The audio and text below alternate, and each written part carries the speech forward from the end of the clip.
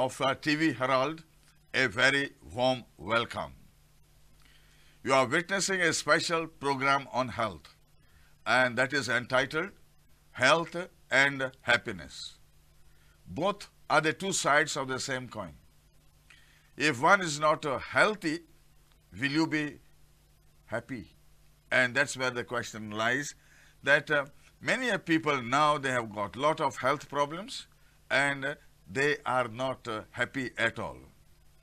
There are some problems that are occurring now very often and one is the problem of diabetes. It is rampant. It is all over the world. It was an original problem in America. Then uh, India is not uh, lagging behind. China also has and uh, all the nations have uh, people with uh, diabetes. What is diabetes? Is it reversible now? Because there is a new school of thought which says that you do X, Y, Z and uh, maybe you can control it better. So, how to live with diabetes and this uh, program is basically living happily with uh, diabetes. Living happily with diabetes because very often people who do not take proper care, early care, they have uh, their uh, amputation of the leg, they suffer more of heart attacks, strokes, kidney problems and so on and so forth. Often people who have this big problem, they are never happy. Some have died. I know many of my friends, close friends, who died because of uncontrolled diabetes. How can you live happily with a diabetes? This is a new program and uh, this program has already been launched in Goa and uh, we have an expert who has been propagating this message and he is none other than Dr. Celso Fernandes uh, from Margao. Yes. Welcome Dr. Celso. Thank you. Thank you, Jovito. Dr. Celso, you have published this book now living happily with a diabetes. Yes. Let's go from uh, start. How do you define or what is this diabetes? Well, good evening friends. Actually speaking, the thing is, I've also realized that diabetes is not a disease. It is basically a disorder. And basically, it's more of a lifestyle disease. The main cause is basically improper food habits, uh, lack of the diet not controlling properly and lack of exercise. And nowadays, we have seen most of the people becoming less lethargic or more lethargic, I should say. And because of that, there's a lot of uh, what I could say the complications done with diabetes. Yeah. Yeah. So it is a lifestyle problem. It's more of a lifestyle problem. And I think most of us now are aping the West. We have the Western type of uh, diet and uh, do you think it's creating a very big problem? Definitely. It's 100% causing it because the way the food stuff is done, most of processed food, then all the natural food is actually being omitted. Like even today what we have seen is as far as the lunch, dinner and all the way people have been having food, it is not controlled at all.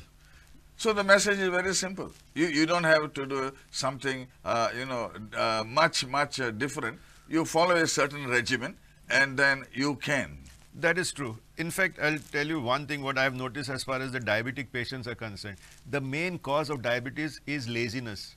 Most of the diabetic patients are lazy. So it is a sedentary life. It is sedentary life and plus even to come forward like now see we have started these diabetic clubs all over Goa. What we have noticed is diabetic people usually stay absent from exercises but the non-diabetic come more. And, yeah. and finally, when we did most of their blood tests and checked the entire program, what we saw is many Goans have got very high cholesterol. Sugar levels are under control most of the cases, but many have got high cholesterol. Because heart attack is another very big problem. Yes. In uh, United States, it's the number one killer disease. Definitely. And they say that every 34 seconds, there is somebody who is suffering from heart attack. Definitely. And even in Goa, it is there because uh, we have done uh, this uh, free blood sugar testing camps and at all these camps, even if we test around 100, on an average, you'll get at least 45 to 50 who are diabetic. And most of them are not even aware that they are diabetic. Yes. But uh, normally they say that uh, you come first into pre-diabetic uh, stage. Yes. And most people ignore Yeah, they ignore it because what happens is unless and until there is a crisis, no one takes action. So previous, uh, most of the patients who are there, what we have seen is they try to control and delay it as much as possible. But once you start getting the signs, especially like weakening of the eyes, like blurry vision or frequent urination, all these small signs and symptoms, then by chance they'll end up. But what we have seen is all the hospital admissions, you just go to any hospital in Goa, 90% will be diabetic 90%. and 10% accidental. that is pretty high. It is almost 90% of all the hospital admissions are diabetic patients. And I think for that reason, the government is now giving free medicines to control diabetes. Yes, but just giving free medicines doesn't make impact. Like I'll give you an example. Now, whenever a, a patient goes to the doctor, the doctor will say, "You please go and do at least one kilometer walk." For a person to go and do a one kilometer walk alone is very difficult. But when it comes in a group, like even doing exercise, what we have seen in Living Happily with Diabetes clubs, doing exercise in a group relieves almost 80% of your stress. And group exercises make much better than individual exercise. Like you tell me to do exercise at home, even for 5 10 minutes, maximum I can concentrate is for about 10 minutes. But when it's in a group, you can do even for one hour, even one and a half hour, there's no issue at all. And we have seen this group exercises is actually bringing 80% of healing, more because of socializing. So that unity among the members, because what we have seen in our diabetic clubs, you can say almost around 50% are actually due to depression and isolation at home, no company. And especially after COVID, all the senior citizens, they usually don't move out of the house. So as far as possible, they have more sedentary lifestyle and that is how we decided to bring them back out, let them do this group exercises and we monitor their sugar levels and we can see that it has made a big impact. You have been uh, working uh, during the COVID times. Yes. What was the scenario? Uh, the scenario was see, whichever cases we handled, like in Margao especially, we were associated with South Goa District Hospital as well as the ESI hospital. What we used to notice is whenever the patients were brought, they was, usually were brought at the last stages. And if they had diabetes, within, you can say even three to four hours, they used to collapse and they used to die. But those who were non-diabetic at least showed higher resistance. And So their, their survival rate would be much, better. higher, much higher for those who are non-diabetic. And then I was just trying to analyze why, and go to see diabetic people who are lazy or lethargic people, their lung capacity shrinks because they don't take deep breaths. Their breath is very short. So even if they climb up 10 steps, they start panting. They are not able to climb up steps. They are not even able to walk for more than uh, say 50 meters or so because they immediately start panting. And this is because of lack of exercise. So your strategy is very simple. That's what because the thing is what I've found out is if you just take care make a group, this group therapy has worked a lot, even as far as diet is concerned. Like I'll tell you, a doctor tells a patient not to have non-veg. I'm 100% sure they'll still have non-veg. But when a group decides not to have non-veg for Lent, everybody takes the thing more seriously because they are all group members. But individually, to take the decision is very difficult. So we talk about diabetes. Are there different types of diabetes? Yes, see, the most common everybody knows is type 1 and type 2. Type 1 is basically like a hereditary and it is like congenital. Mostly the young children and some those who are, wherein the organs themselves are defective, so the insulin production is less. So in those cases, you cannot avoid insulin. So you need to take uh, the in- injection. injections. So those are very less cases. Like out of 100, you might get one or two of them. That's all. That's all. Yes, as far as type 1. So the majority is are uh, type 2. What is this type 2 that Type 2 talking? is basically the weaknesses which are formed due to secretion of insulin not uh, much or there is insulin resistance. So these two things can be there. But what happens is there are genetic factors also because there are many people who are genetically predisposed. But once you know that there is a chance of getting it genetically, you can easily control it with diet and exercise. So that means if your father and mother, they had type 2, what are the chances of their children getting it also? That's what. Those cases, the children are definitely predisposed to getting it faster at a younger age. And normally, if parents are diabetic, even the, the children, say by age of 25, 30, already can start getting diabetes because it's born in the genes. Because it's like, what you can say, like a software in the body. It is already tuned to that this. But if you can control it, and if you are aware about it, then automatically you can keep under control. There is no issues at all. Main thing is actually speaking, it should not be made easy for the body by just giving medicines. If you don't do exercise, even if you take medicines, still your diabetes will go up. So your exercise is a must. 100% and diet control. And third, of course, is stress. If the stress level is good, means in the sense the stress you are under control, diabetes can be controlled easily because one cause of diabetes or secretion of the hormones, especially the thing, cause of diabetes also. So you need to take care of your stress levels and where the stress level comes is when you come in a group, it reduces. But Yes. when you do it alone, it doesn't have that So much. you enhance your social life. That is true. Because social life is required because man is of course a social animal. So if you don't have that social contacts, then there's nothing to share with. So that, this concept what we have started is basically bring them together and group as it's like uh, how we have alcoholic anonymous. I'm sure you must be knowing about it. That uh, group therapy was the best way of reducing that. Now diabetes is also the same thing. Is it is it a very big problem in Goa? Now let's let's not talk of India, but uh, in Goa. Definitely. In Goa, it is actually more rampant than any other place Is because it? of the food ha- lifestyle. And especially with the non-veg food, the oils that we use, and especially having like say sorpotel, pork, and all these things, definitely it makes a big impact. Yeah. Now you talked about uh, two problems associated with uh, your pancreas that Yes. produces insulin. What are more or less uh, those problems? See, basically, as far as diabetes is concerned, it is basically divided into just three categories. One thing is your nerves start becoming weak, which means automatically you start getting numbness, you start getting the, the sensation reduces. Then, of course, is the eyes, wherein the weakness on the blind, I mean, so the eyesight starts reducing, and you start getting this blurry vision. And of course, the last is the kidneys. The kidneys get affected very fast. So uh, there are more people now going into dialysis. Yes, there are so many. In fact, now the waiting list also, each dialysis center and luck, unfortunately in Goa we don't have that many dialysis centers. But if you check and see in South Goa District Hospital, even Kankon and all, there are huge number of patients doing it almost every day. So with uh, good uh, preventive measures and especially exercise and diet, do you think it can be controlled or reversed? Definitely it can and we have seen and we can show you evidence also. Because this program we had started and launched in Cavelossim in August 2021.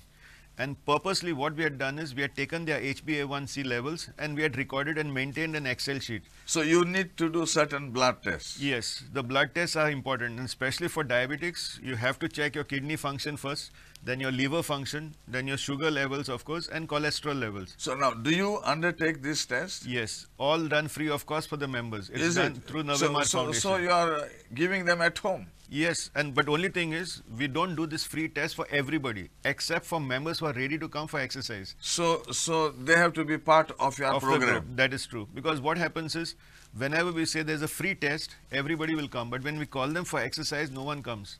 So what we have seen is, whenever we start a club, first we will do it for one month. Then based on the attendance, those many tests are done free. Do you monitor Yes, we have the records. regularly? We have the records right from 2021 and we have seen how the records are. That's why I'm saying when I've checked it, what we have noticed, people who come for exercises are more of non-diabetic but with high cholesterol. Because diabetic people are still not coming. Because even when we do a test and we find that these people are diabetic, they will always have excuses to join for the exercise. They are ready to take anything else. Even if you have to take 10 tablets, they don't mind taking 10 tablets. But exercise, last option. Normally, people go for this uh, uh, blood test uh, on uh, fasting. Yes. And if something is detected, they go for the test Postprandial, postprandial. yes. But you talked about HB1AC. Yeah. What is this? That is the average blood sugar level taken over a period of three months. So this is a new test which has come which can give you the average readings. It wasn't there many years ago, or was it? No, it is already there for quite some time. Is it? And everyone knows that up to six level is normal. Anything above six starts becoming dangerous. And there But are many uh, cases. are these tests available, say, for example, the Goa Medical College? Yes, Goa Medical College also has it. Plus, we have it at uh, uh, this uh, Asilo Hospital. Now we have it at Hospicio, means uh, South Goa District Hospital. Even in Ponda, and now to some extent, even cases in Kankon are given this test. Actually, all the primary health centers offer this test totally free. So, do you have any collaboration with uh, the primary centers Yes. and the hospitals? We have actually donated two machines in the last uh, year of costing 6 lakhs each. One we have put it at PHC Candolim and one we have given in Margao in Imperial Hospital. So now with the tie-up that we had with them, all the members of the Living Happily with Diabetes clubs are tested once in every six months for all the parameters. And So, every six months you have to Yes, undertake the test. the test. Yes. Because we need to keep a control and we need to know whether there is improvement or not. So, you talked about uh, setting up clubs. Yes. These clubs, uh, what do they do? See, basically, it's uh, getting together of people who are prone to getting diabetes, and we only require a premises where you can do this ex- yoga exercises or even the So normal you, you, you resort to yoga exercises. Yes, because yoga is very, very effective as far as controlling stress is concerned, as well as as far as your muscular pain and all this kind, of like back pains, then the shoulder pain, knee joint pains, everything can be cured through this. basically yoga is uh, breathing therapy. Yeah, breathing is one part of it. Yes. But if you do like uh, the exercises which are there, like Surya Namaskar, then Bajrangasana, all these yogas, they can easily cure your body completely because the flexibility increases, and the most important is doing it in a group. Otherwise, it's very difficult to do alone. Uh, you said you started in 2021. 21, yeah, in August. And today we are now in 2023. 23. From one then, Today, actually, we have started altogether 29 clubs, but out of which four we had to close down because of lack of attendance. Because we don't fund a club where the attendance is less than 10 members. So minimum we require on an average for the yoga sessions is 15. now you talked about yoga. Is there somebody who teaches them Yes. and monitors the uh, exercises in yoga? For each club, we have one yoga trainer who we are paying the salaries. So you pay, Yes. a- for all and the, yoga the person goes and and uh, he conducts the sessions and for uh, uh, how many days a week that you thrice have? a week. It's thrice a week. thrice a week. But if they want, can they have every day?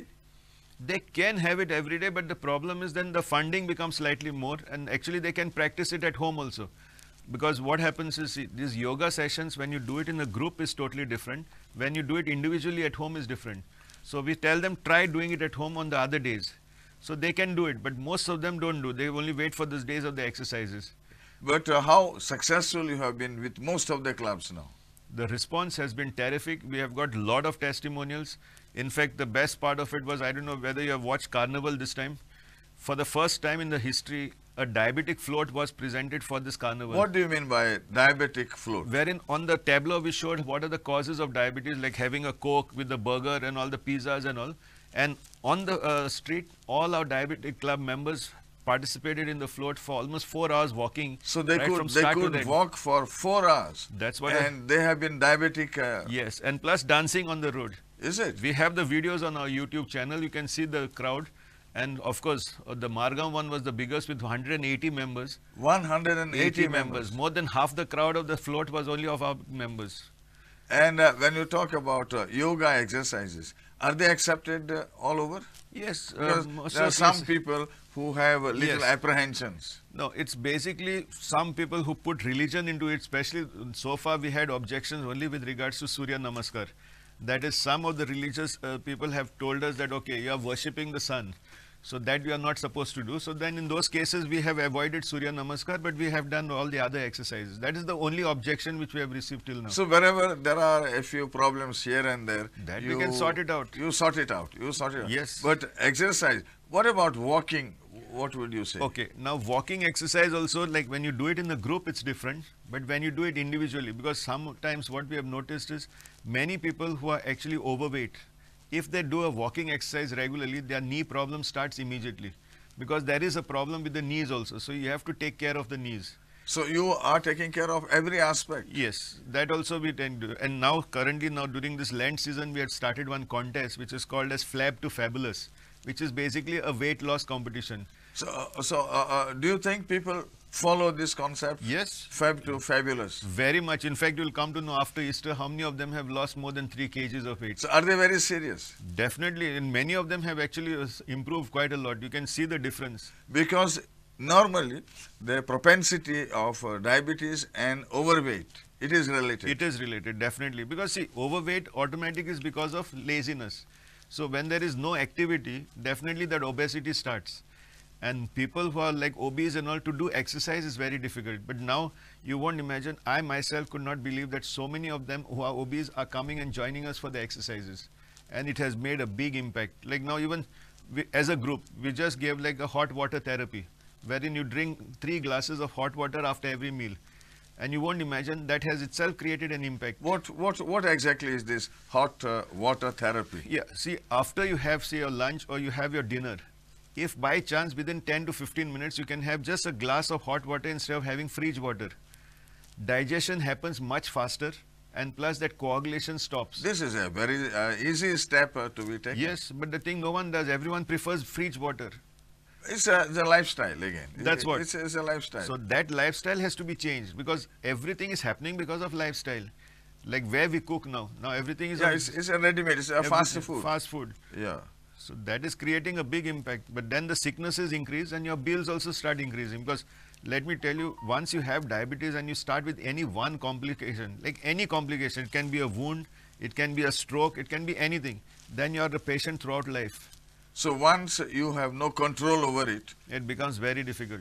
And uh, why do you think Goans uh, are more prone now for diabetes? Because less of acti- uh, means actually physical activity has reduced, Yes. mobile has taken over. Everybody has now two cars, I believe. That's all. So the mobility has reduced, and main is the diet has changed.